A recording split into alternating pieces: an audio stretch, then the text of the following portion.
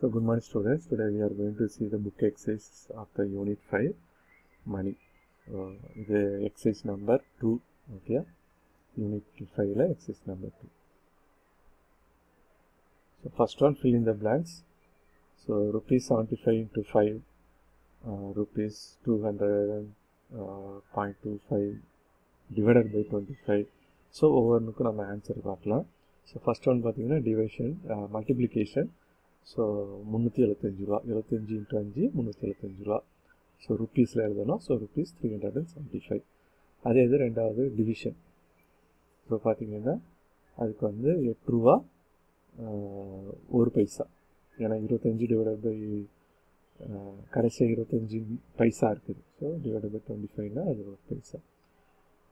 மூவாயிரத்தி ஐநூறுரூவா divided by ஐநூறுரூவா அப்படின்னா ஏழு ரூபா. ஸோ ஒரு ருபீஸ் செவன் ருபீஸ் ஸோ அதே இது வந்து ஃபிஃப்டீன் ருபீஸ் ஃபிஃப்டி பைசே அப்படிங்கிறத இன்ட்டு ஹண்ட்ரட் அப்படின்னு பார்த்தீங்கன்னா ஸோ உங்களுக்கு ஏற்கனவே அந்த டெசிமல் இது தெரியும் ஃப்ராக்ஷன் டெசிமல் இதெல்லாம்.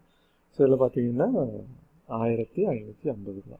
Okay so answer the following so ஒன்று மல்டிப்ளிகேஷன் இருக்குது டிவிஷன் இருக்குது முதல் மூணு மல்டிப்ளிகேஷன் ஸோ முதல் மூணு மல்டிப்ளிகேஷன் ஸோ சிங்கிள் டிஜிட் சிம்பிளாக மல்டிப்ளை பண்ணிடுறோம். ஸோ டபுள் டிஜிட்டுங்கும் போது ஆன்சர் பார்த்துருங்க ஓகே அதே மாதிரி டிவிஷன் ஓகே ஸோ டிவிஷன் பார்த்தீங்கன்னா இதோடைய ஆன்சர் கீழே எடுத்துருக்கு ஓகே ஸோ இது வந்து முப்பத்தாறுரூவா பத்து பைசா ஓகே சரி.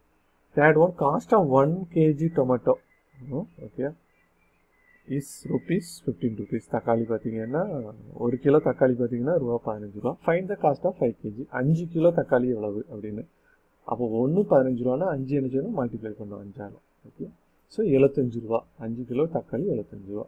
ஓகே ஸோ ஒரு முட்டையோடைய விலை பார்த்தீங்கன்னா நாலு ரூபா ஐம்பது பைசா. அப்போ இருபது முட்டைன்னா எவ்வளவு? அப்படின்னு சொல்லி. ஓகே இன்னும் டக்குன்னு நீங்கள் இதில் இதுக்கு வந்து கேல்குலேஷன் பண்ணணும் அப்படின்னா ரொம்ப சிம்பிளாக பண்ண. முதல்ல பத்து முட்டைக்கு பார்க்கணும்.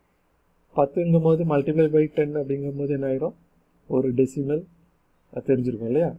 ஃபோர் பாயிண்ட் ஃபைவ் அப்படின்னா four forty five point zero into two times அப்படிங்கும்போது நைன்ட்டி ருபீஸ் அந்த மாதிரி நீங்கள் நினச்சிங்கன்னா வந்து ஒரு கிராஸ் செக் கேல்குலேஷன் வந்து ஈஸியாக பண்ணலாம். Okay so this is the answer அடுத்தது school management has decided to give pen for all children participating in children's day celebration school என்ன நினைக்குது அப்படின்னா எல்லா குழந்தைகளுக்கும் என்ன பண்ணலாம் அப்படின்னா குழந்தைகள் தினத்தில் வந்து ஒரு பெண்ணு கொடுக்கலாம் அப்படின்னு முடிவு பண்ணுறாங்க ஸோ அவரோட பெண்ணுடைய விலை பார்த்தீங்கன்னா பதினெட்டு ரூபா. அப்போ எத்தனை பெண் வாங்கணும்?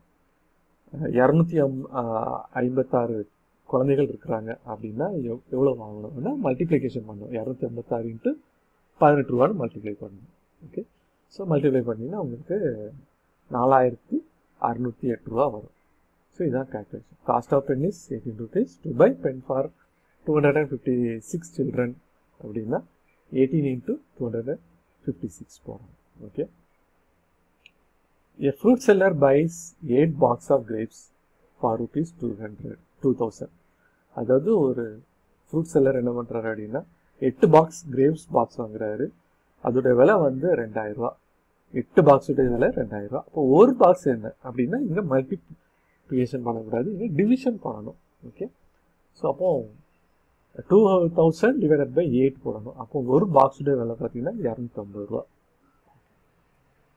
ஸோ இதை sweet stall a cost of eighteen KG of sweet is two thousand five hundred and twenty rupees அப்போ ஒரு கேஜி இல்லை பதினெட்டு கிலோ ஸ்வீட் பார்த்தீங்கன்னா ரெண்டாயிரத்தி ஐநூற்றி இருபது ரூபா.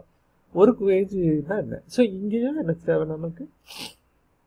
டிவிஷன் தான் ஒர்க் அவுட் ஆகும். ஓகே ஸோ அதுதான் நம்ம பண்ணியிருக்கிறோம். நூற்றி நாற்பது ரூபா ஒரு box okay so thank you students இதோட இந்த சாப்டர் முடியுது. ஸோ என்னோடய வீடியோ பிடிச்சிருந்தால் என்னோடய சேனலை வந்து சப்ஸ்கிரைப் பண்ணுங்கள் நெக்ஸ்ட் வீடியோவில் உங்களை சந்திக்கிறேன். நன்றி வணக்கம்.